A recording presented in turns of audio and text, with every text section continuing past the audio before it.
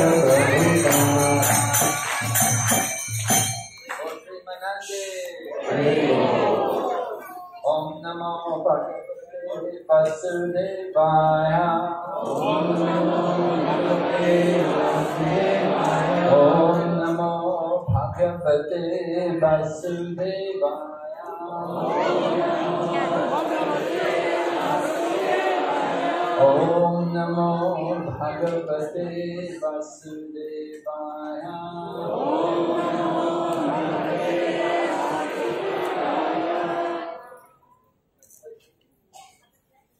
So I'm speaking on behalf of His Holiness Jagpataka Swami Maharaj, who's giving the initiation today.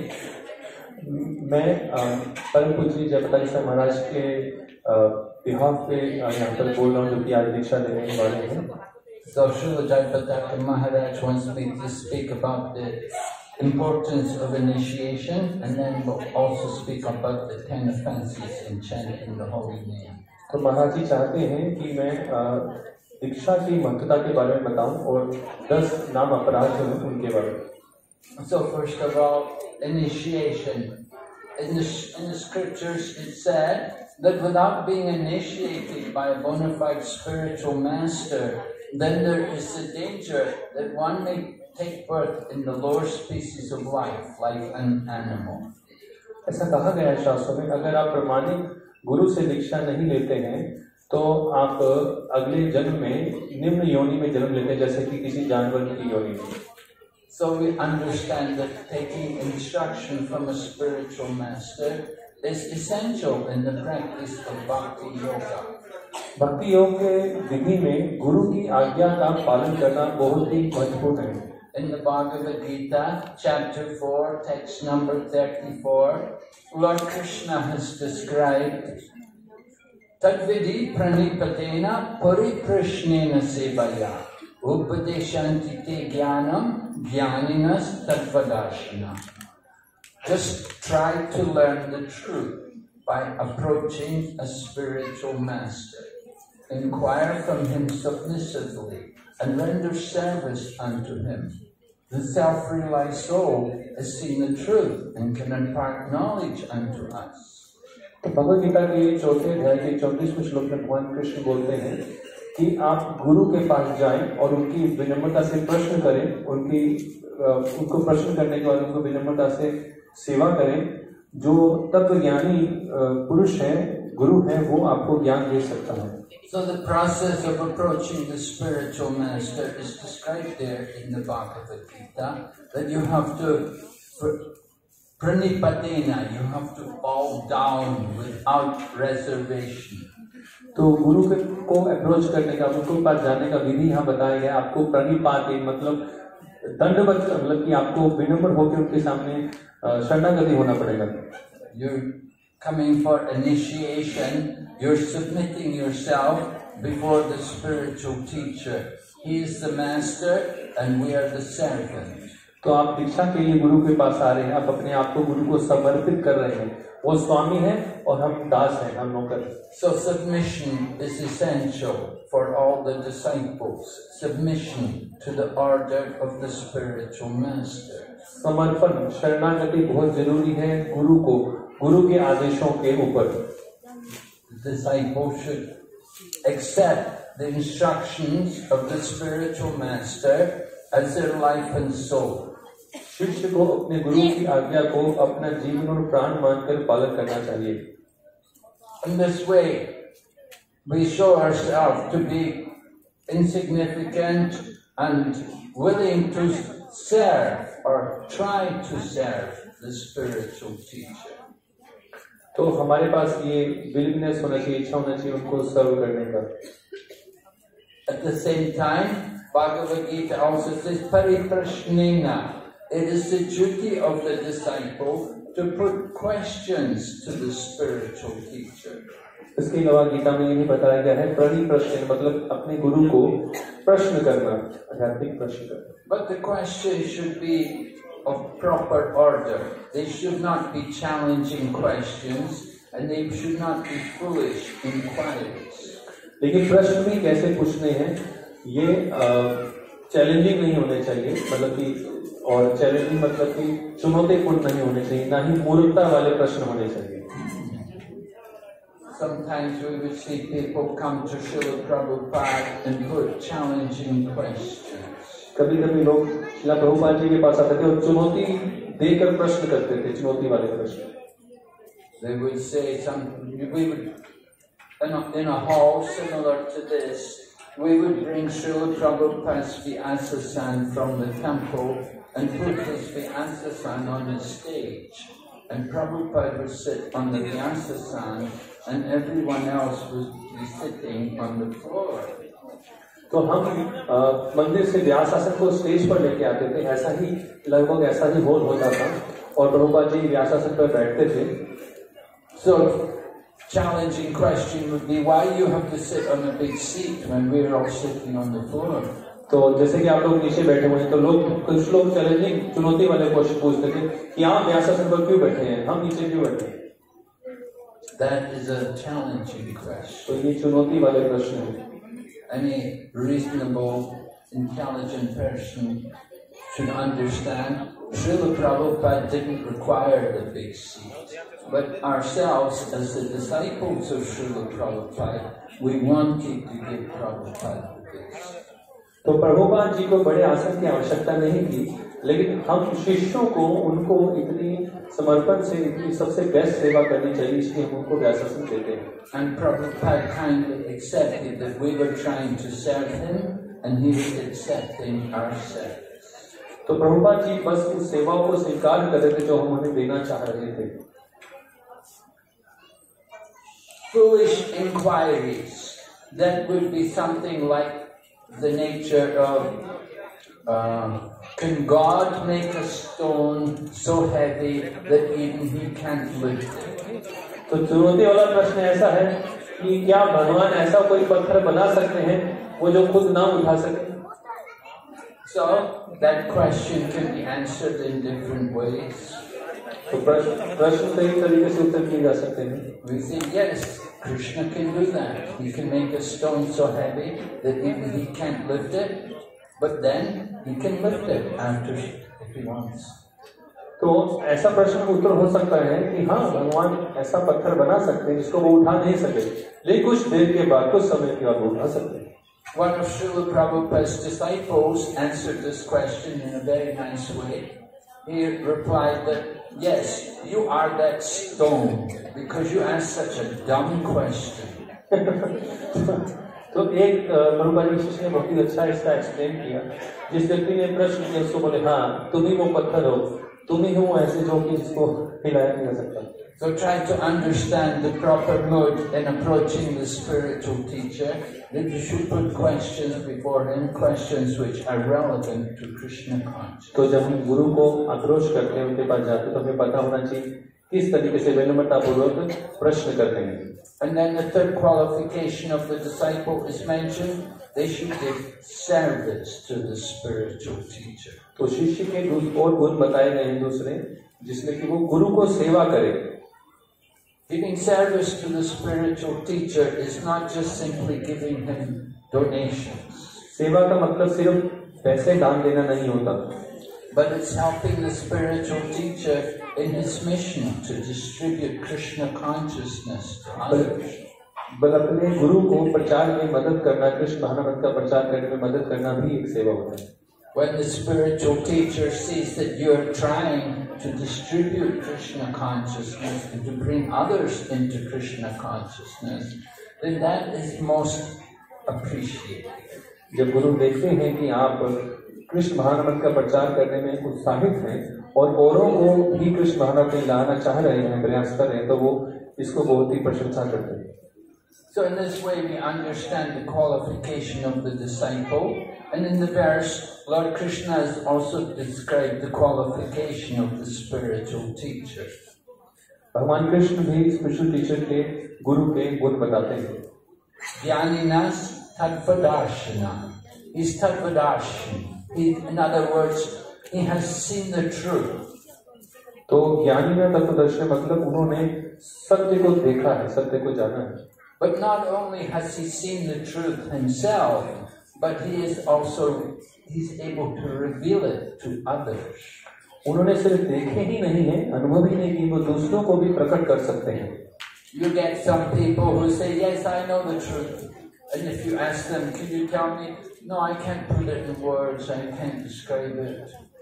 कुछ लोग बोलते हैं हम ईश्वर को देखे हैं जब आप पूछते हैं आप कैसे हैं बताएँगे तो वो बोलते हैं कि हम उनको शब्दों में नहीं बता सकते But in Bhagavad Gita, Lord Krishna said he's actually Tattvadarshi. Not only has he seen the truth, but he can also show it to others.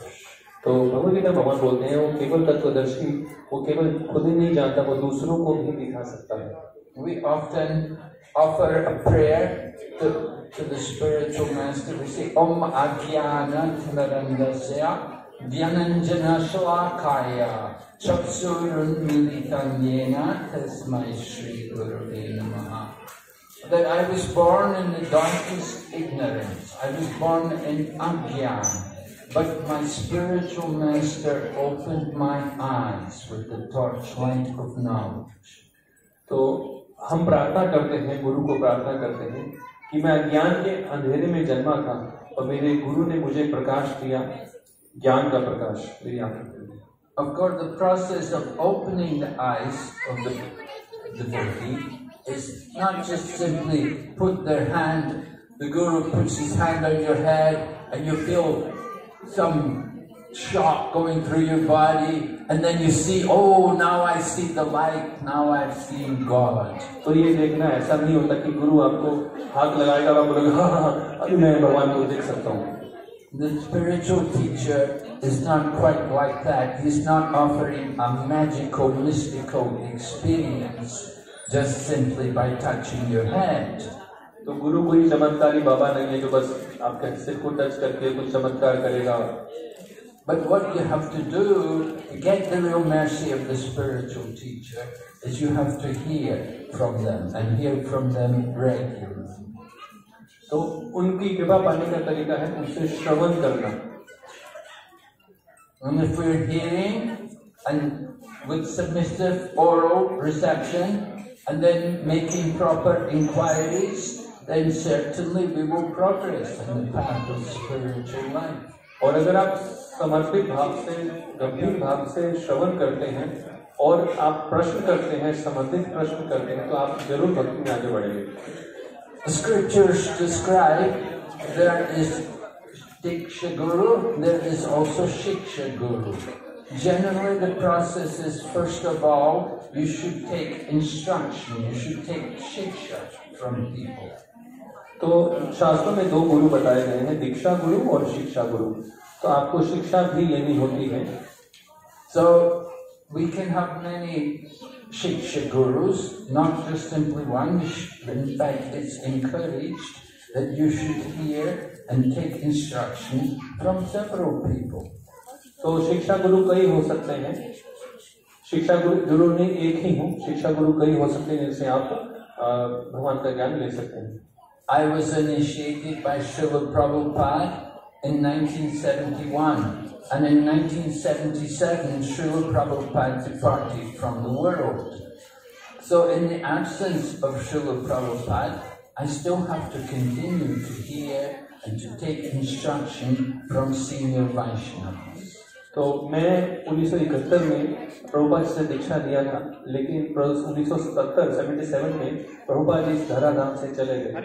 उसके बाद भी मैं सीनियर वैष्णवों से शिक्षा और इंस्ट्रक्शन लेता था। He explains that we should be willing to see even our own god brothers as senior devotees, and if we understand that they're advanced, we can accept them also as our instructing spiritual teachers. और प्रभुपाद जी ने एक जगह लिखा है कि अगर हमारे गुरु भाई जो कि हम एक हम हम भी गुरु से दीक्षा लें वो भी गुरु से दीक्षा लें अगर वो आध्यात्मिक में में आगे बढ़े हुए हैं तब उनको भी शिक्षा गुरु के रूप में स्वीकार कर सकते हैं So, by taking instruction from different people, certainly we will develop faith in their instructions. And from these different people, one person will become more prominent. तो हम जब शिक्षा ले रहे हैं तो उससे हमारा भगवान के प्रति फिर विश्वास बढ़ेगा और उन सब शिक्षा गुरु में से एक हो सकता है मुख्य हो And that one person who is prominent not in, among the Shiksha Gurus, you should go on and accept him as the Diksha Guru. तो उन्हीं में से जो जो हमें इनकी शिक्षाएँ हमें ज़्यादा प्रेरित कर रही है उनसे हम दीक्षा लेना चाहिए diksha is a process by which we awaken transcendental knowledge and remove simple reaction दीक्षा एक विधि है जिससे हमारा दिव्य ज्ञान जागृत होता है और हमारा अज्ञान दूर होता है। Of course coming for initiation it is required that before taking initiation, you have already committed yourself seriously to the practice of Krishna consciousness. तो दीक्षा के लिए आने का मतलब होता है कि आप पहले ही कृष्ण महारामठ की विधि के लिए गंभीरता से समर्पण भाव से उसको पालन कर रहे हैं Some foolish people say, just give me initiation and I'll start to chant 16 rounds once you give me initiation. कुछ लोग बोलते हैं कि आप हमें दीक्षा दीजिए अभी हम सोलह माला शुरू कर देंगे So you cannot do that. That's not the process. You want initiation, first you have to show that you're going to chant 16 rounds and you have to be doing it regularly before you come for initiation. तो ये विधि नहीं है अगर आप दीक्षा लेना चाहते हैं तो आप दीक्षा लेने से पहले आपको गंभीरता दिखानी होगी कि मैं ये सोलह माला जप और ये नियम पालन करूँगा So the Diksha is, we said, awakening transcendental knowledge. It's not just immediately at the time of initiation, all the knowledge will be revealed. It's going to take time. तो दिव्य ज्ञान जागृत होने का मतलब ये नहीं है कि दीक्षा जो सब कुछ अभी एकदम जाग जाएगा So you have to be willing to hear, and that hearing should be done on a regular basis. तो उसके लिए हमें श्रवण करना होगा और श्रवण रेगुलर मतलब नियमित रोज करना होगा। Just like chanting you have to do it regularly every day there are no days off जैसे हम नाम जप करते हैं रोज नाम जप करते हैं। There are no days off कोई छुट्टी नहीं होती इसमें हाँ Sunday We want more devotional service. We don't want days off from devotional service. हम भक्ति में सेवा बढ़ाना चाहते हैं भक्ति से छुट्टी नहीं चाहते So it's very important that initiation is making a firm vow, a commitment to this process of daily chanting and following the four principles. तो दीक्षा का मतलब हम आज संकल्प लें कि हम सोलह माला जप करेंगे और जो दीक्षा के नियम है उनका पालन करेंगे And of course, these four principles, they're mentioned in the Shastras. It's not that we just make these things up. It's mentioned, it's all from scriptures. ये जो चार नियम हैं ये शास्त्रों में बताए गए हैं अपने से बनाए गए नहीं हैं ये शास्त्रों में बताए गए हैं In the Bhagavad Gita, 10th chapter, Lord Krishna is describing Vibhuti Yoga, and he says there, Of sacrifices, I am the chanting of the holy name. दसवें अध्याय में विभूति योग में भगवान दसवें अध्याय के पच्चीसवें श्लोक में भगवान बोलते हैं कि अ, यज्ञों में मैं नाम जप हूँ And then our four principles which we follow, they're mentioned in the Srimad Bhagavatam, that the pillars of religion are described as cleanliness, mercy, austerity and truthfulness. तो जो चार नियम है वो श्रीमद भागवत में बताए गए हैं। सत्यता स्वच्छता दया और अहिंसा। The four legs of the bullock is standing on four legs this are the of dharma तो ये चार धर्म के पैर हैं। जो बैल है उसके पैर हैं धर्म बैल के So at the time of initiation, we're making a bow in front of the spiritual teacher, in front of all the devotees, and in front of the sacred fire. We're making our vow to follow these principles. तो दीक्षा के समय हम अग्नि के सामने संकल्प लेते हैं वचन लेते हैं कि हम इन नियमों का पालन करेंगे It's a commitment, but it's it's very good for us to do this because this is making us civilized human beings. ये प्रतिबद्धता है प्रतिबद्धता है लेकिन ये हमारे लिए अच्छा है ये हमको एक सभ्य मनुष्य बनाती है People who are not following these principles, then they're not actually civilized. They're more on the level of the animal. जो मनुष्य ये नियम पालन नहीं करते हैं वो पशु के योग्य हैं पशु जीवन के योग्य हैं And Srila Prabhupada said himself, he said, for me it was not very difficult. Of course, Srila Prabhupada in his whole life, he had never even tasted tea. Prabhupada ji बोले कि मेरे लिए ये मुश्किल नहीं था प्रभुपा जी ने पूरे जीवन में चाय भी चखी नहीं थी So Prabhupada thought it's not very difficult to follow four principles. तो ये चार नियम पालन करना ज़्यादा मुश्किल नहीं था उनके लिए Of course, nowadays we get mo- a lot of people, it's quite difficult for them in the beginning पर बहुत से लोगों के लिए शुरुआत में ये मुश्किल होता है because they have so many bad habits coming from material life. क्योंकि उनके पास कई बुरी आदतें होती हैं भौतिक जीवन से आने के कारण But to help us to keep the principles, to follow these vows, we have the holy name of Krishna, and that's why you have to chant every day. तो इन नियमों का पालन करने में मदद करने के लिए हमारे पास हरि नाम है इसलिए हमें रोज हरि नाम का जप करना चाहिए So if we keep up our daily chanting, it will give us the spiritual strength to follow also the four regulated principles. तो जो नाम जप है रोज ये हमें शक्ति देगा अपनी शक्ति जिससे हम चार नियमों का पालन कर सकेंगे So Srila Prabhupada also sometimes he would he would say sometimes he could understand that you may have an accident, you may fall down, somehow you may take something, you may eat something which you shouldn't have eaten. तो कभी कभी गलती से ऐसा हो सकता है कि आप कुछ ऐसा ले लें खा लें जो कि आपको नहीं खाना चाहिए Srila Prabhupada told us, I remember when I was a young devotee, when I first come to Mayapur, Prabhupada came for the Gaur Purnima, and uh, Prabhupada saw that all the devotees were coming from the west. At that time, we didn't have many Indian devotees. The movement was begun by people like myself from Europe and from America.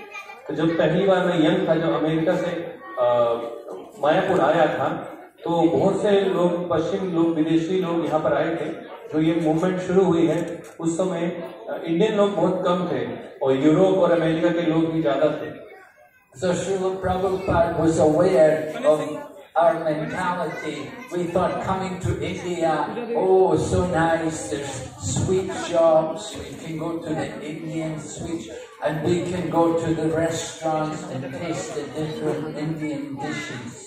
तो हम लोग सोचते थे कि हाँ हाँ हाँ हम इंडिया में मिठाई की दुकान में जा सकते हैं और समोसे कचौरी की दुकान में सब कुछ टेस्ट कर सकते हैं But Srila Prabhupada said to all of us in Mayapur that day, he said, please don't eat in the restaurants.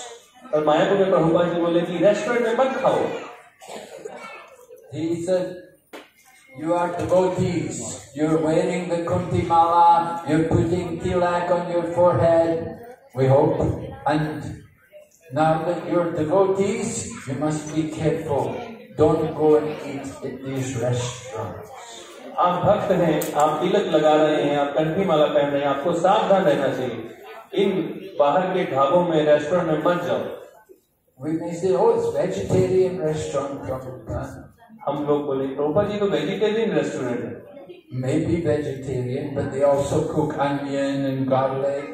And the cooks, the workers in the restaurant, they may not be vegetarian. They may be working there, but they're not vegetarian. तो vegetarian हो सकता है लेकिन onion garlic को use करते हैं और जो कुक बना रहे हैं वो वेजिटेरियन ना हो ये भी हो सकता है।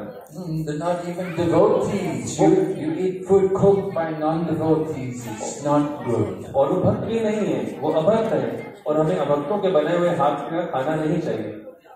तो this is some sometimes of course maybe some situation where you have to going to but as much as possible, try to avoid.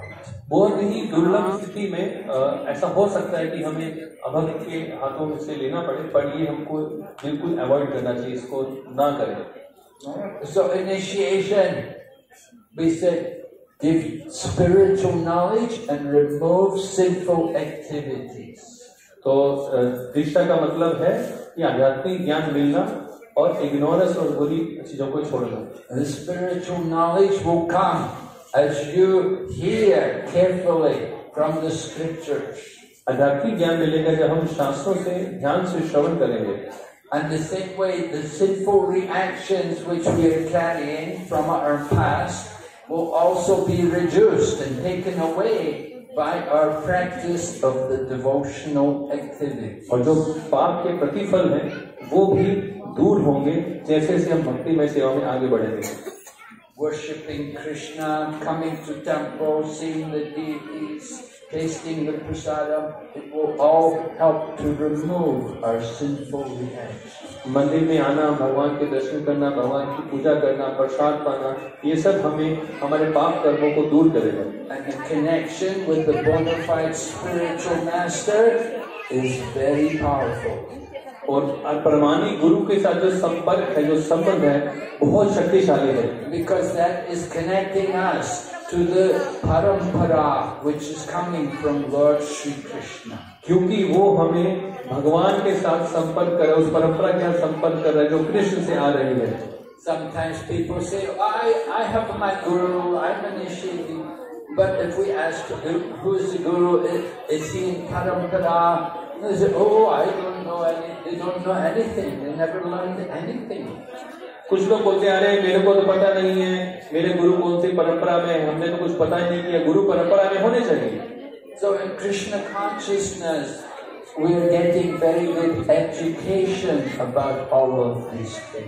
Krishna मानव में इन सब बारे में हमें पूरी शिक्षा मिल रही है। We're not just simply taking a guru out of a family tradition or because it's a fashion. हम गुरु स्वीकार नहीं कर रहे अपने पारिवारिक अ, परंपरा के कारण या फिर एक फैशन के तौर पे And in fact, it's encouraged that, that all the devotees taking initiation, that before they take initiation, they first of all take part in the ISKCON disciple course. तो हम तो ये प्रेरित करते हैं कि जो भी दीक्षा लें पहले इसकोन डिसाइपल कोर्स के अंतर्गत पढ़ाई करें Right? All of you take, you all taken the ISKCON disciple course? आप सबने इसकोन डिसाइपल कोर्स किया है Yes, good. Yes, because the ISKCON disciple course helps us to understand how to select the spiritual teacher. ये हमें मदद करता है ये चुनने में कि हम गुरु को कैसे चुने Sometimes people say, I'm looking for a guru. And you ask them, well, what kind of guru, do, what guru do you want? They don't know. They say, how do I know who's a guru? How do I know what to look for? तो हम कभी पूछते हैं कि अ, आप अ, वो बोलते हैं हमें गुरु चाहिए आपको कैसे गुरु चाहिए अ, हमें नहीं पता हम कैसे पता करें They don't know anything. They want the guru just out of fashion. But they have to learn what is qualification of the spiritual teacher. वे गुरु चाहते हैं लेकिन उनको पता नहीं कि गुरु की क्या क्वालिफिकेशन उन्हें पता होना चाहिए Sometimes we think guru must have long hair and red clothes and a big beard. कभी कभी हम सोचते हैं गुरु की लंबे बाल होने चाहिए लंबी दाढ़ी होनी चाहिए और लाल कपड़ा होना चाहिए So we're, we're, we have these problems. We have these uh, uh, sentiments that we look at the guru and we think, well, he looks like a nice guru. You never hear him speak. You never heard anything, but you think, oh, he looks like a guru. तो ये हमारे भाव है अ, कि गुरु कैसा दिखता होगा हमने कभी उससे सुना नहीं है हमने उसको जाना नहीं है बस हम इमेजिन कल्पना कर रहे हैं गुरु ऐसा होना चाहिए So the ISKCON disciple course helps us to become more aware of how to select guru and it also tells us about qualification and process of initiation. तो इसको डिसाइपल कोर्स ये भी बताता है कि गुरु की क्या क्वालिफिकेशन है शिष्य की क्या क्वालिफिकेशन है It's not that immediate, oh, I think I'd like to get initiated, and you want to sit down in the yagya. And, you know, sometimes you go to a temple, then you walk in the temple and they say, Would you like initiation today? कभी कभी कई जगह पे ऐसा हो सकता है कई मंदिरों में या फिर कई संस्थाओं में कि आप पहले दिन मंदिर आ जाओ और आप लोगों को पूछे क्या तुमको दीक्षा लेनी है? आ जाओ आ जाओ। So it's not like that There's a process. You want to get initiated, you have to go through the training and be- prepare yourself for the initiation. तो ऐसा नहीं है अगर आपको दीक्षा लेनी है उसका एक विधि है उसका एक शिक्षा है उसके अंतर्गत आपको शिक्षित होना पड़ेगा And this initiation is where we transform our life. And instead of being uh, materialistic conditioned souls, we become sadhakas and we're on the spiritual path. तो दीक्षा से हम अ, भौतिक अ, भौतिकवादी बद्ध जीव से एक साधक बनेंगे और भक्ति में आगे बढ़ेंगे So this initiation process is like, is compared to taking birth.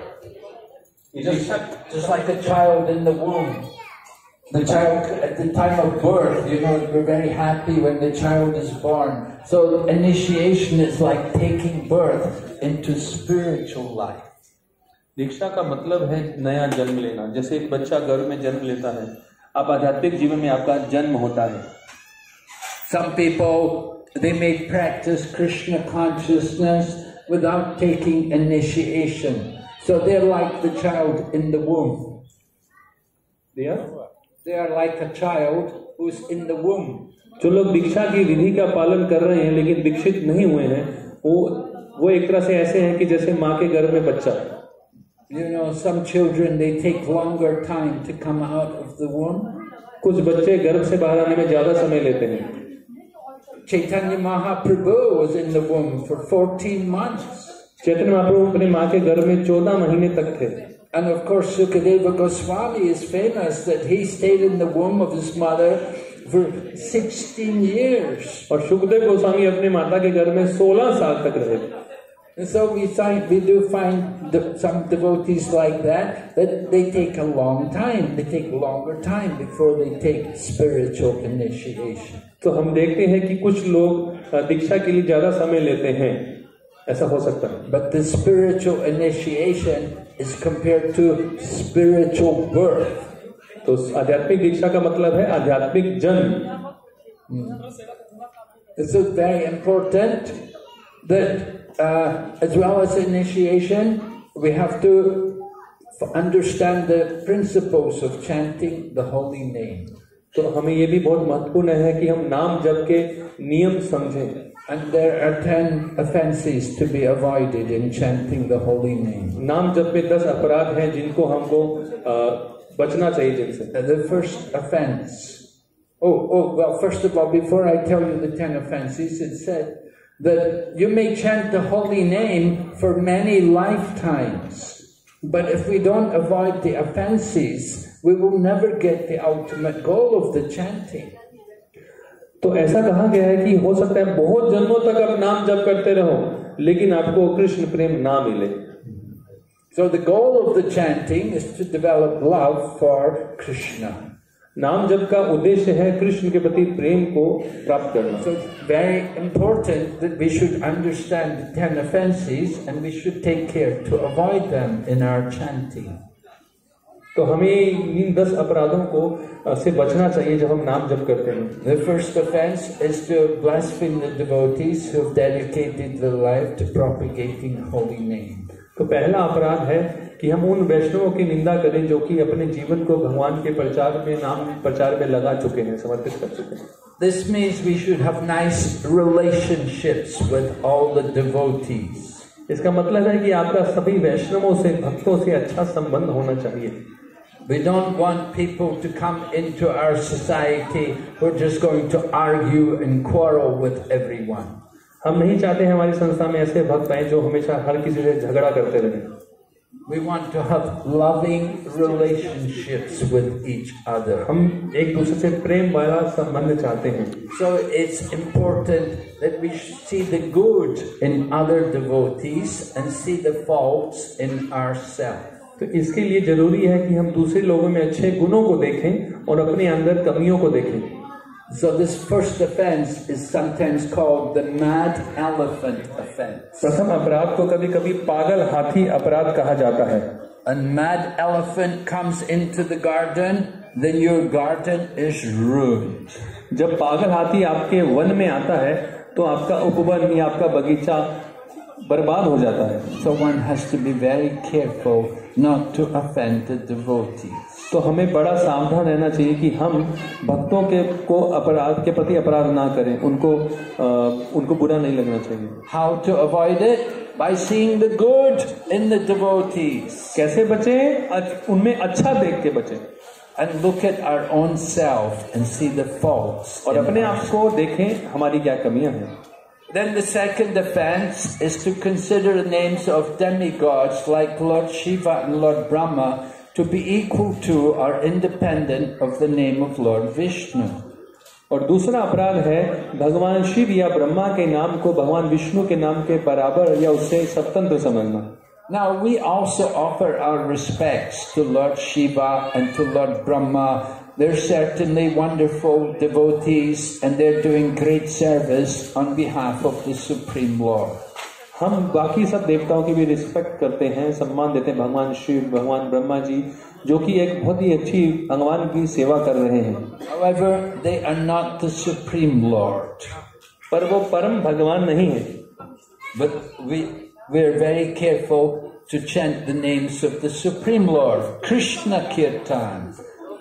Not names of, not Durga Kirtan or Ganesh Kirtan, but Krishna Kirtan. हम लोग बहुत सावधान हैं भगवान का कीर्तन करने में कृष्ण कीर्तन करने में ना ही दुर्गा कीर्तन या फिर गणेश कीर्तन We also respect the other gods. We know there are many gods, devas, devas, and we offer our respects to them, but not as the supreme.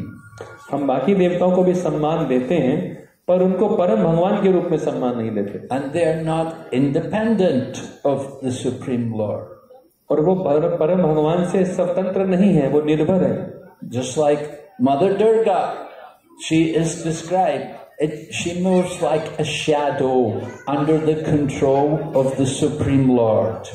जैसे कि श्रीमती अ, अ, दुर्गा माता जी वो शास्त्रों में ऐसा लिखा गया है वो भगवान की छाया की तरह जो कि परम भगवान के नियंत्रण में रहती हैं And Lord Ganesh, He gets his empowerment to destroy obstacles on the path of devotion because he holds the lotus feet of Govinda on his head. और गोविंद स्रोत में लिखा हुआ है कि भगवान गणेश भक्ति के सभी विघ्नों को नाश करते हैं क्योंकि उन्होंने भगवान कृष्ण के चरण कमलों को पकड़ा हुआ है So, if you have any problem with this, you can refer to the Brahma Samhita, which is a very important book, which describes all of these different gods and their relationship with the Supreme Lord, Govinda or Krishna.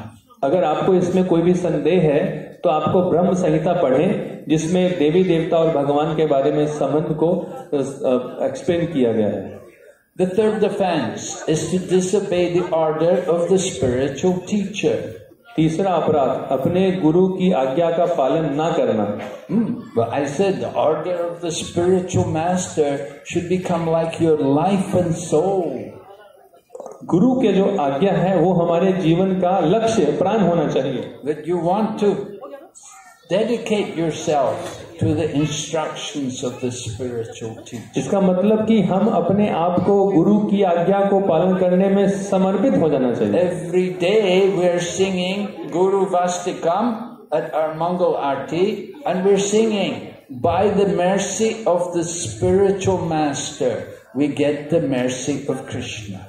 हम रोज सुबह गुरुवाष्टकम पढ़ते हैं जिसमें हम गाते हैं कि गुरु की कृपा से हमको कृष्ण की कृपा मिलती है। And without the mercy of the spiritual master there would be havoc on the path और गुरु की कृपा के बिना हमारे जीवन में अंधकार छा जाएगा बर्बाद हो जाएगा।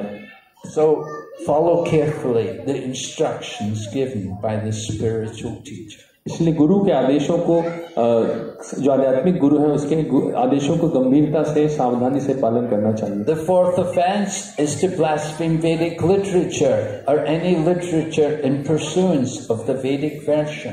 चौथा अपराध है शास्त्रों की निंदा करना या फिर जो भी शास्त्रों से संबंधित और उसमें शास्त्र हैं।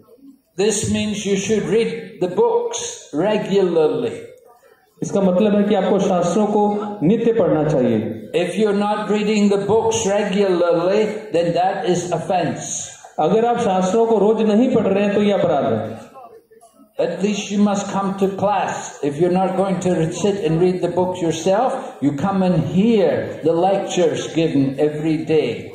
अगर आप पढ़ नहीं सकते हैं तो आप रोज श्रवण करें क्लास में रोज आए Every morning we're having Srimad Bhagavatam class upstairs in the temple. रोज रोज सुबह हमारे ऊपर भगवान की एक कथा होती है You come and hear regularly. रोज आए और सुने